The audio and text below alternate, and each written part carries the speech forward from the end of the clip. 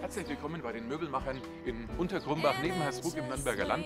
Heute beim Newsletter 101 wollen wir ganz herzlich zu den Untergrumbacher Werkstatttagen einladen. Die sind vom 23. bis zum 25. Mai und beginnen am Freitag mit der Musik, die Sie im Hintergrund hören, The Rose and Crown. Aber es ist nicht nur ein musikalisches Erlebnis, es wird auch ein kulinarisches. Das Ganze wird gecatert von Rose Gardens. Am Samstag und Sonntag, an beiden Tagen, ist Tag der offenen Tür, an dem wir nicht nur zeigen, wie man Massivholzmöbel herstellt, sondern auch, wie man den Wert erhält, wie man sie pflegt, wie man Fehler ausbügelt und warum wir sie zurücknehmen würden. In der Ausstellung zeigen wir das sous garn das Garn im Vakuum und was man mit einem Vakuumierer alles anstellen kann. Und Ute Danzer erklärt den Unterschied zwischen Box-Spring-Betten und Wood-Spring-Betten und was es ansonsten noch zum gesunden Schlaf zu erklären gibt. Am Samstagabend steigt die große MM-Party.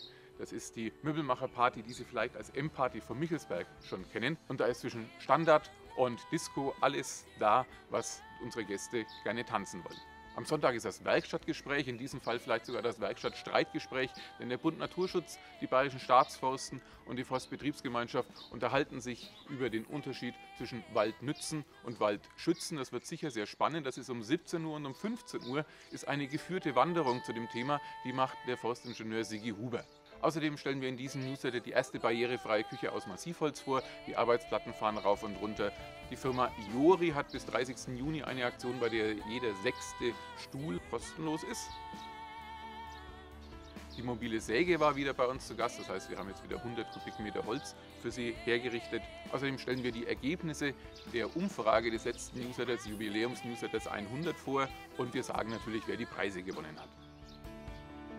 Wir würden uns riesig freuen, wenn Sie uns besuchen zu den Werkstatttagen, aber auch davor oder danach. Sie sind jederzeit herzlich eingeladen, nach Untergrumbach zu kommen.